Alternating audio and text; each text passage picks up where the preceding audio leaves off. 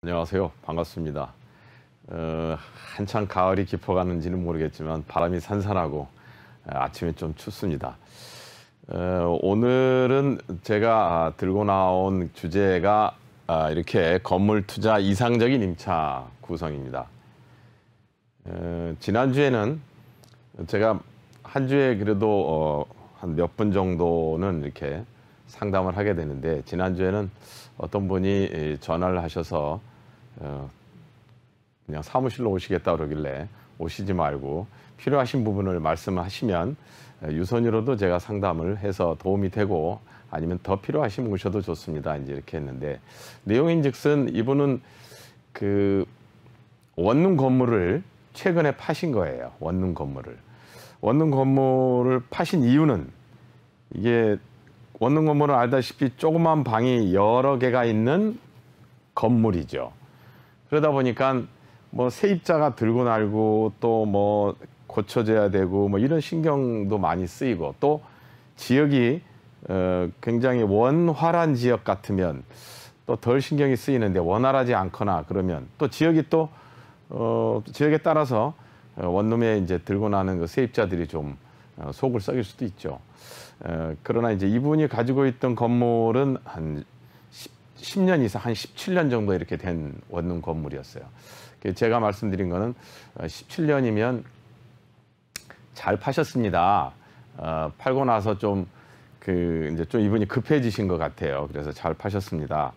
이유는 원룸 건물은 어차피 10년을 맥스로 보고 어, 수리를 한 번씩 안에를 리모델링을 적어도 5년에 한 번씩은 아, 방의 도배 뭐 내지는 그, 뭐 그 안에 있는 풀옵션이면 그 제품들 이런 것들을 손을 봐줘야 기존에 다르게 새롭게 생긴 원룸 건물들과 이제 경쟁력이 있죠.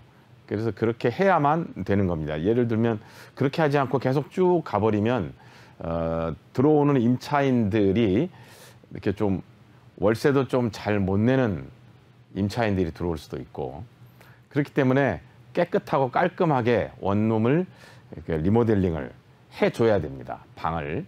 그래서 그게 이제 기간이 한 5년, 5년 정도에 한 번은 그 원룸의 원룸의 그 구성을 해줘야 됩니다. 그렇게 해야 되는데 결국 어 시간이 한 17년 이렇게 15년 지났다는 얘기는 그동안에 좀 했겠지만 전체적인 건물이 갖고 있는 컨셉도 어 새로 등장하는 원룸 건물에 좀 떨어지겠죠. 그러니까 사실 17년 어, 정도 된 원룸 건물을 파신 건 잘했다 이렇게 말씀드릴 수가 있고 팔고 나서 이제 어 팔아 파, 팔려고 했는데 팔려서 속이 시원했다 뭐 이럴 수 있는데 그러나 팔고 나니까 또 이제 다르게 또 투자를 해야 되겠죠. 어, 부동산을 처분하고 돈을 가지고 있는 것은 어, 가장 뭐 안 좋은 케이스입니다.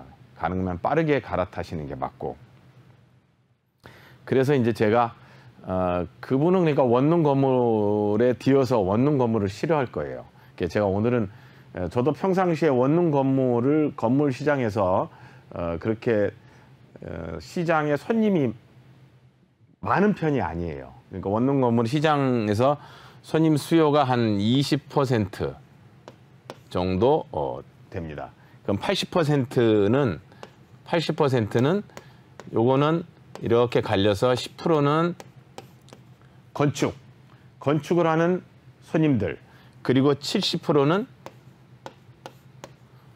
투자형의 손님들 원룸 건물은 투자형이라기보다는 이제 월세가 필요하신 분들이죠. 그래서 이렇게 에, 이제 정리를 할 수가 있는데 그래서 이제 그분은 이제 아쉬우니까 제게 어, 어떻게 해야 되느냐 어, 건물을 다시 빨리 사야 되겠는데 했습니다. 그래서 제가 오늘은 이상적인 임차 구성은 어, 건물이 에, 건물이 방금 말씀드렸다시피 70%가 어, 투자형이기 때문에 근생 건물, 올근생 건물을 가장 선호합니다.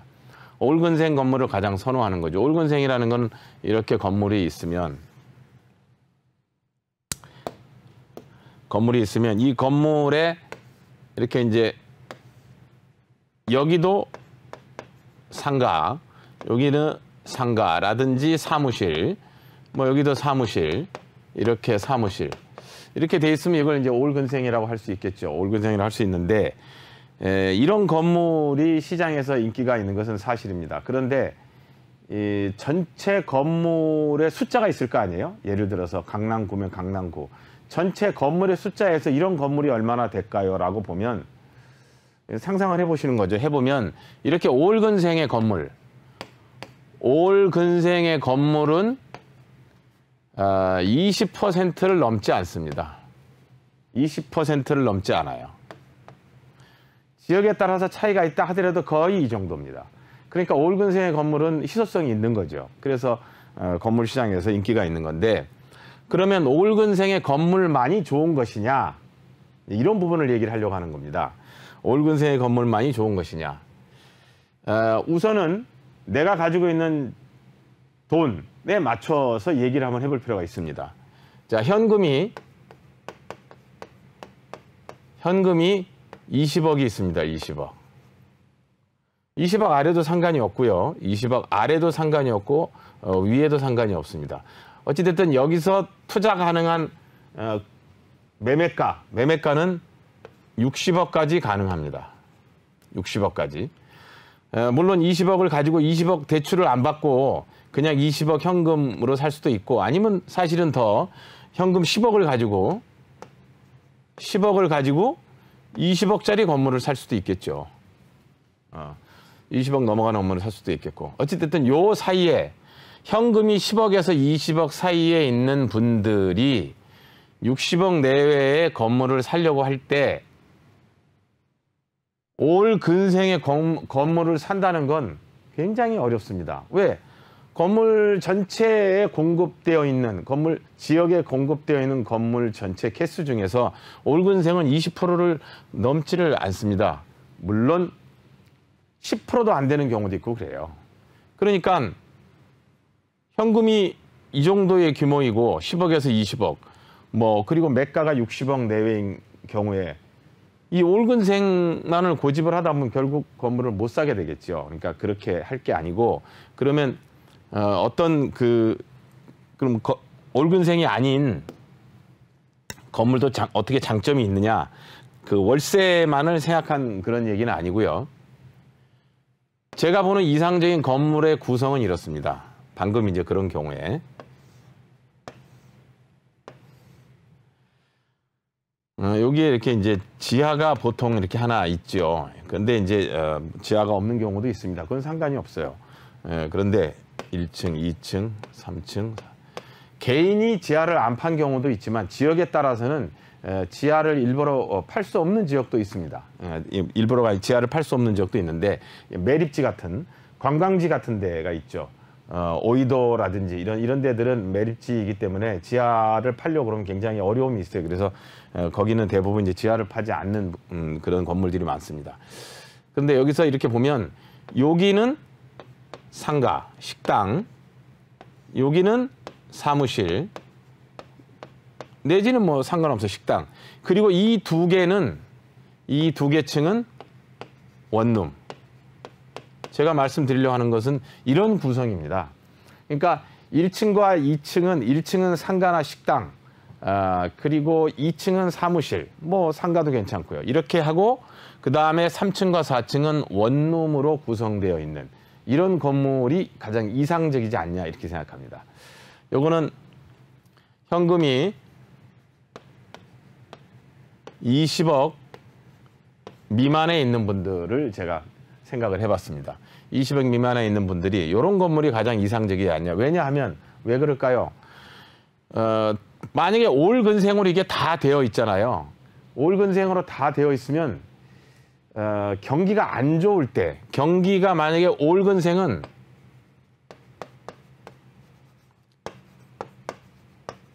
이 올근생 건물은 어, 경기가 안 좋을 때 공실이 생겨요. 공실. 불경기. 지금같이 지금같이 코로나 시대 딱 좋은 케이스입니다. 제가 앞에 앞에 방송쯤에 어, 수도권에 있는 어, 어떤 그 8층짜리 8층짜리 올근생 7층에 지하 1층입니다. 8층짜리 건물인데 올근생이에요. 이게 대단한 거죠. 상업지역입니다. 8층 건물, 8개층의 구성인데 이게 올근생이에요. 올근생인데 이게 지금 5개층이 5개층이 공실입니다. 상업지역이고 올근생이고 얼마나 좋습니까? 근데 5개층이 공실이에요. 그러니까 이렇게 공실이 불경기에는 나버리는 거죠. 뭐 테란노도 공실이 있습니다. 테란노 이면도 공실들이 지금 많이 있어요. 그러니까 이 얘기는 무슨 얘기냐면 결국 어, 비가 오나 눈이 오나 안전하게 건물 투자성도 있고 월세도 잘 안 빠지고 가는 것은 뭐냐? 이렇게 복합 구성입니다.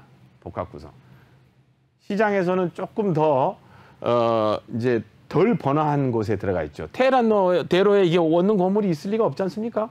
그러니까 이런 복합 구성이 되어 있는 것은 이면이나 삼면이나 도로가 이면 도로나 세 번째 도로나 이런 데 이제 들어가 있죠. 그러나 이런 것들도 그 지역이 어, 유동 인구가 꽤 있는 곳 그런 지역이면 이 복합 구성은 참 좋아요. 방금 말씀드린 대로 이렇게 8, 8개층 건물이 올근생인데 현재 다섯 개 층이 공실이에요. 이 주인은 굉장히 황당하죠. 상업지역에 올근생 8층, 8개층 건물을 샀는데 다섯 개 층이 공실이니까 얼마나 황당하겠어요. 팔려고 나왔습니다.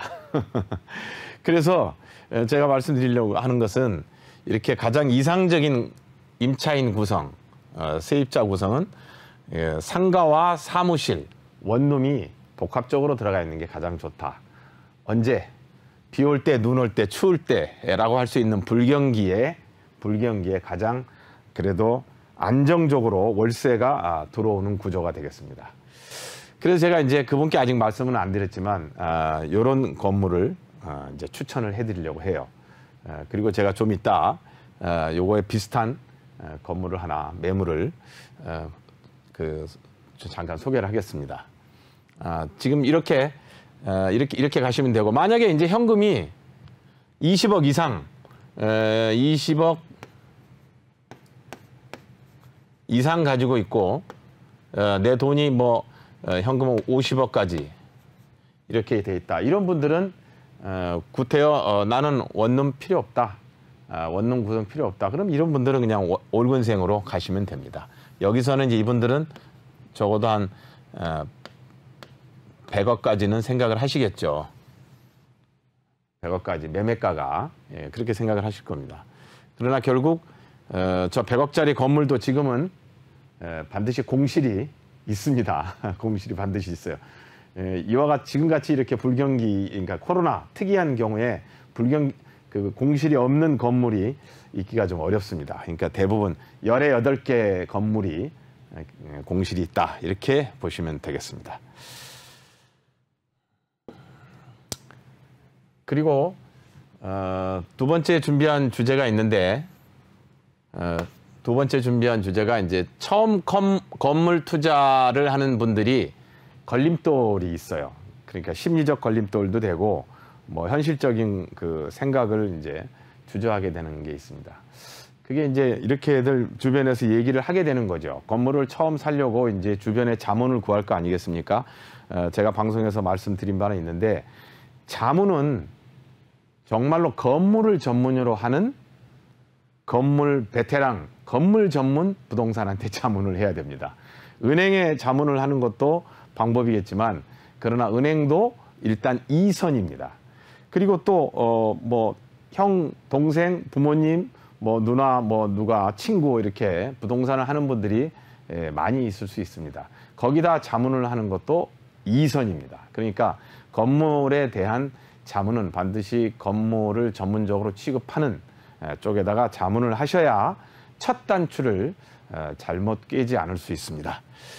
에, 그래서 이제 보통 그렇게 자문을 하게 되면 그분들이 두 가지 걱정을 하게 돼요. 야야, 뭐 지금 건물 사가지고 그 뭐 별로 재미들 없더라. 그리고 세금도 엄청 많아가지고 그 어떻게 되겠나. 그래서 건물 사지 마라. 이런 쪽으로 이제 그 좋은 조언을 하게 됩니다. 그런데 제가 말씀드리고 싶은 것은 세금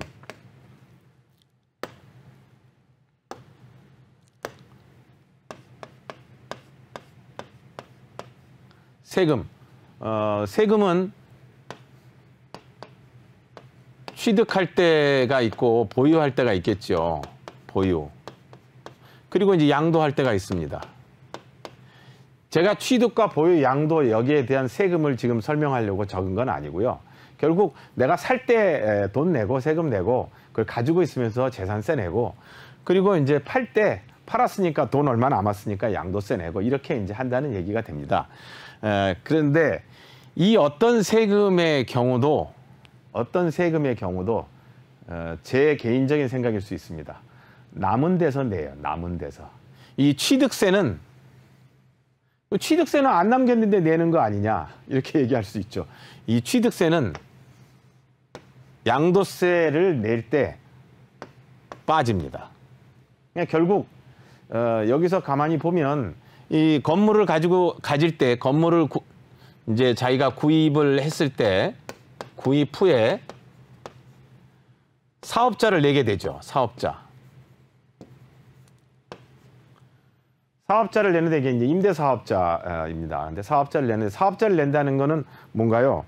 내가 정부의 국, 나라에 에, 내가 이런 사업을 하든 저런 사업을 하든 사업을 한다고 신고하는 거잖아요. 신고를 하고서 어, 그리고 나서 그로 인해 그로 인해 생기는 소득에 대한 세금을 내는 거란 말입니다.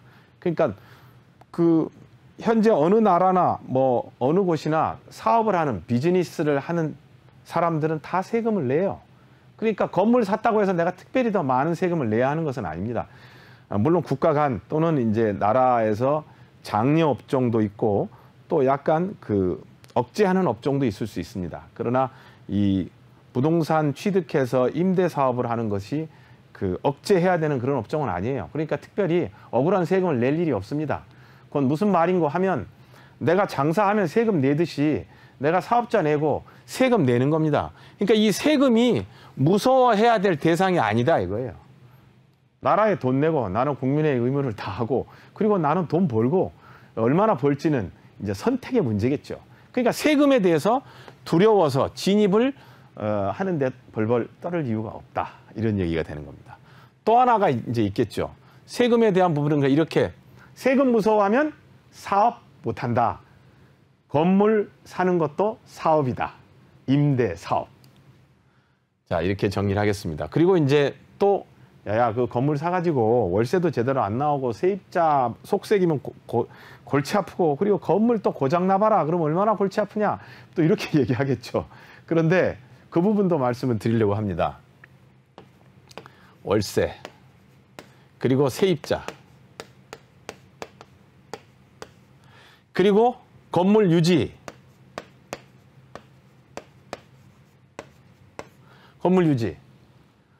월세 잘 안 들어오고 세입자 속색이고 건물 유지하는데 뭐 건물 세고 뭐 어디 뭐 부서지고 이런 얘기를 해서 건물 구입하는데 하지 마라. 그 뭐 머리 아프다. 그 내가 이제 건물 사봐서 잘 알아. 뭐 이런 얘기를 옆에서 할 수 있어요. 그러면 그 건물 사, 샀다는 분한테 물어보세요. 어디에 샀는지 이렇게 물어봐야 됩니다. 그리고 건물 몇 개나 갖고 있는지 이렇게 물어봐야 됩니다. 반드시 괜찮지 않은 어, 우리가 제일 중요한 유동인구가 많지 않은 곳에 건물을 구입했을 수 있습니다. 그또 하나는 어, 건물을 가지고 있다 하더라도 한 개나 뭐 이 정도 아니면 두 개. 여기까지는 초심자의 수준입니다. 건물을 그래도 한 다섯 개 정도 가지고 있는 분한테 자문을 구하면 구입해라. 이렇게 얘기할 겁니다. 대신에 좋은 거로 해라. 아, 이렇게 얘기하겠죠. 그러면 월세. 월세는 그럼 어떻게 되냐? 월세 걱정 안 들을까 봐. 이거는 위치가 좋은 건물 사면 돼요. 이 위치. 위치는 역세권 꼭 아니래도 되고 대로 아니래도 됩니다. 그냥 유동인구가 많은 그리고 강남 아니래도 돼요. 그 지역에 서 유동인구가 많은 이러면 됩니다. 그럼 예를 들어서 강북도 있고 뭐 어, 수도권도 있고 많지 않아요. 거기서 그 지역에서 이동인구가 많은 것들 그러면 강남만 고집하면 엄청나게 돈이 부담스럽지만 그 여타의 지역들 강북이나 그 여타의 지역들로 가면 가지고 계신 돈으로 구입을 다 하실 수 있습니다. 그리고 이제 세입자 문제 있죠. 세입자 세입자 문제 자, 자연히 해결되지 않겠어요? 세입자 이런 곳에 있는 건물에는 세입자라 세입자에 들고 날고 들고 나가고 하는 게 아주 쉬워요. 예, 동네 부동산한테 얘기만 해놓으면 착착착착착착 잘 들고 잘 빠집니다. 자, 그러면 이제 이것도 해결이 됐죠. 1번, 2번, 3번. 세 번째 건물 유지네요. 아, 건물 뭐 비세고 어디 뭐 수리해 줘야 되고 뭐 이렇게 이제 예, 얘기들 하지 않습니까? 근데 이 건물 유지는요. 건물 아주 쉽습니다. 건물을 구입하실 때 하셔야 돼요. 구, 구입하시고 나서 내가 등기하고 취득하면서 등기하고 나서 바로 건물 보수에 들어가셔야 됩니다. 어떤 건물이든지 에, 들어가셔야 돼요. 그래야 내가 건물을 유지 보유하고 있는 동안에 아유 굴치가 안 아파요. 그러면 유, 보수하려면 돈 많이 들지 않느냐? 그렇지가 않아요. 이 건물 상업용 건물의 경우는 대부분이 다 세입자들이 들어와서 1층 식당은 자기네들이 수리해서 삐까뻔쩍하 꾸미고 들어올 테고 2층 사무실은 사무실 들어오는 사람들이 칸막이 쳐서 자기네들 용도에 맞게 쓸 테고 이렇게 된단 말입니다. 그러니까 건물 유지를 위해서는 구입 후 구입 후 바로 무엇을 하느냐? 배관, 누수. 배관은 전기가 있고 수도가 있겠죠. 전기와 수도, 그리고 누수는 비가 오면 새는지 안 새는지 이거를 구입 후 바로 손보시면 돼요. 이 손보는 비용이 얼마냐? 5천이면 돼요.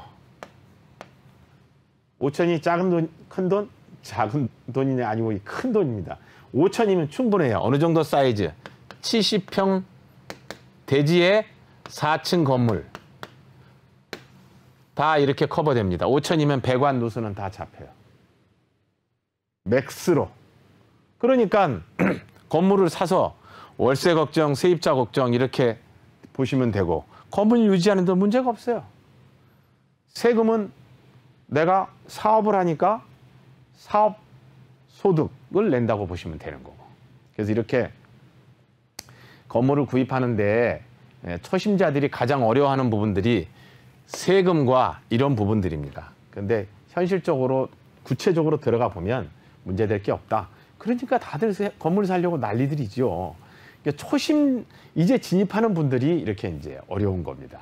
아직 안 해봤기 때문에 건물을 한 세 개 이상 갖고 계신 분들은 그렇게 걱정하지 않습니다. 아, 새롭게 어디다 또 잘 살까 이런 걱정들을 하시죠.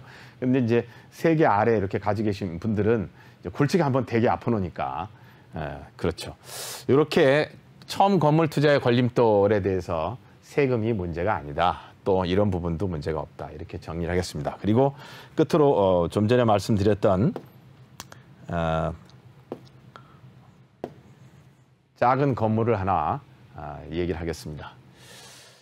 어, 제가 지, 어, 금주에는 오이도를 다녀왔습니다. 오이도가 어딘지는 혹시 아시나요? 오이도는 안산에 있는 그 소래포구의 건너편 쪽에 있는 오이도 어, 그 유명한 해센터가 있고 이제 이런 곳입니다.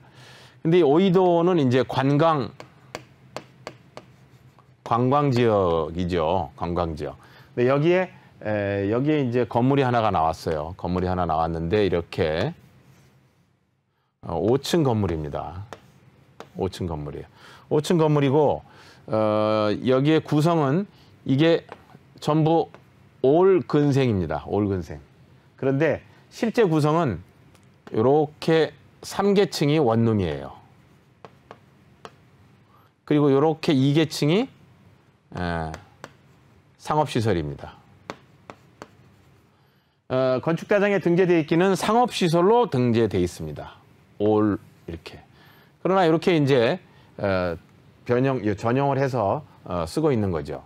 근데 여기에 에, 이 매가가 이 매가가 대지가 어, 대지를 말씀드려 대지가 에, 이게 100한 40평 정도 됩니다. 대지가 140평. 그리고 건축 면적 한 층의 건축 면적이 한 75평 정도 됩니다.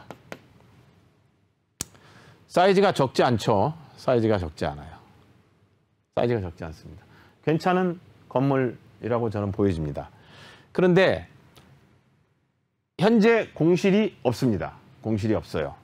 이 코로나 이 4단계 공실이 없어요. 공실이 없는 이유는 딱 이거지요. 원룸 구성을 해놔서 그래요. 원룸 구성을.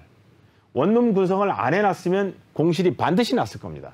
원룸 구성을 해놔서 공실이 없고 이 건물은 월세가 어, 2천까지 나오게 되어 있는 건물입니다. 그런데 현실적으로는 이거를 보증금을 높게 받으면 보증금을 높게 받으면 이 월세는 줄어들겠죠. 보증금은 올라가고 월세는 내려가고. 건물 규모가 아, 월세 규모가 있죠. 공실도 없고 오이도 관광 지역이고 대지는 140평이고 건축 면적은 75평. 그리고 5개층 건물 1, 2, 3, 4, 5. 어, 여기는 이 중에 건물주가 건물주가 입주할 수도 있습니다. 입주.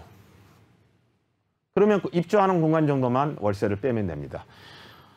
대지와 건축이 이 정도 140평에 75평이 되고 월세가 2천이 나오고 자 이게 얼마짜리 건물일까요? 얼마짜리 건물일까요? 이거는 시장에서 30억대의 건물로 충분히 지역이 오이도 경기도잖아요. 안산을 감안해도 충분히 30억대의 건물로 갈 수 있습니다. 그런데 이 건물은 그보다 아래로 거래가 될 것 같아요. 그러니까 이렇게 임차 구성이 이렇게 되어 있기 때문에 공실이 하나도 없다는 그런 얘기가 되겠습니다. 오늘 어, 이상적인 건물의 임차 구성 또 건물을 처음 구입하는 분들이 에, 두려워하는 세금과 어, 월세 그리고 세 번째로는 어, 이 이상적인 임차 구성이 되어 있는 건물까지 에, 제가 소개를 해봤습니다. 어, 돌아오는 한 주까지 에, 평안하시기를 바라면서 지금까지 야모 어, 부동산의 기룡이었습니다. 감사합니다. 구독과 좋아요는 사랑입니다.